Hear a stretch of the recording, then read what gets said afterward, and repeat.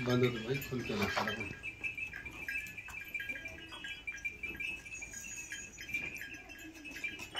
रखो